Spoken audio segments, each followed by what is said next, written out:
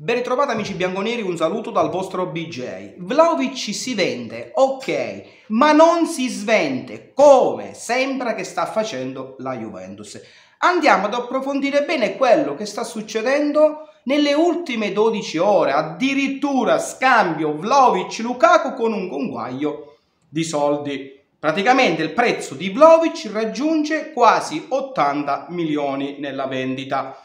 Prima che approfondiamo quello che succede, se c'è verità o meno, iscrivetevi al canale, lasciate un like, commentate e attivate la campanellina, così non vi perderete mai un video e siamo sempre live. Ladies and gentlemen, madame e me, se signore e signori, me signore, quelle vere, quelle gobi bianconere della vecchia signora. Rieccoci qui, un giorno sì, un giorno.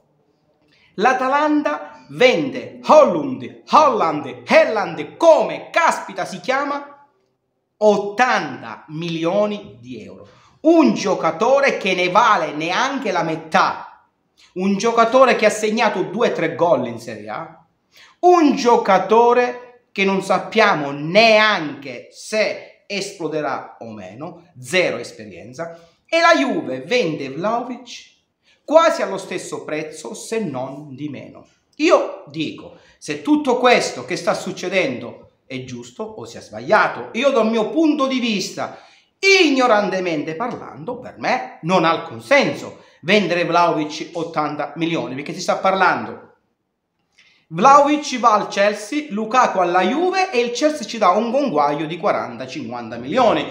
Il valore di Lukaku sarà di 30 milioni, 50 e 30, 80 milioni. Oggi io Vendo Vlaovic solo se mi date 120 milioni. Lo volete? 120 milioni! Per quale motivo ogni volta che deve vendere la Juventus dobbiamo mantenere i prezzi bassi e l'Atalanta vende Hollund con un prezzo alto che non ha alcun senso. Poi mi viene sempre da pensare, ma la procura, le procure, in questo caso dove sono? Chi controlla la cessione di questo giocatore dell'Atalanta che vale per tre volte, per tre volte del valore di mercato, che poi parliamoci chiaro, il giocatore dell'Atalanta vale 15-20 milioni, venduto 80 milioni. Qui rientra pure il mio pensiero delle procure che a volte fanno un lavoro allora a senso unico, colpendo solo la Juventus. Invece la Juve, mi sento dire giustamente da Giuntoli, se arrivasse un'offerta rinunciabile, Vlaovic viene venduto, ma non penso che 80 milioni di euro sia un'offerta irrinunciabile. Io non voglio dire se è più forte Vlaovic, se è più forte Lukaku, a me questo punto di vista non me ne frega. Mi fido del lavoro che vuole fare la Juve, voglio fidarmi di quello che vuole fare Allegri, ma svendere Vlaovic a questo prezzo non sta bene assolutamente. Questo non è lavorare nello giusto modo.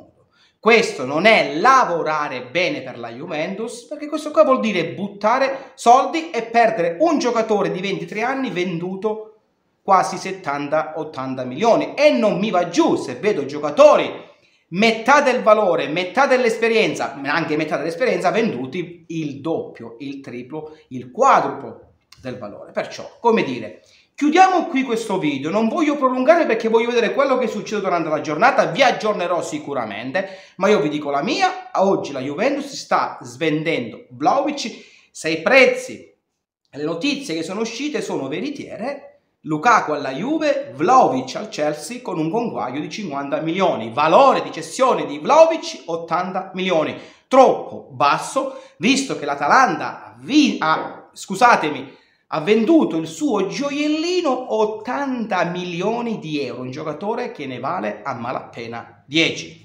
Mando un saluto alle procure che vogliono, che controllano bene quello che sta succedendo e mando un saluto a Giundoli che gli dico carissimo Giundoli, mi raccomando, non svendiamo ma vendiamo, questa qua secondo me non è un, un'offerta irrinunciabile, questa è un'elemosina del Chelsea. Fino alla fine, forza Juventus, io me ne vaio, ossa benedica a tutti i picciotti, ciao!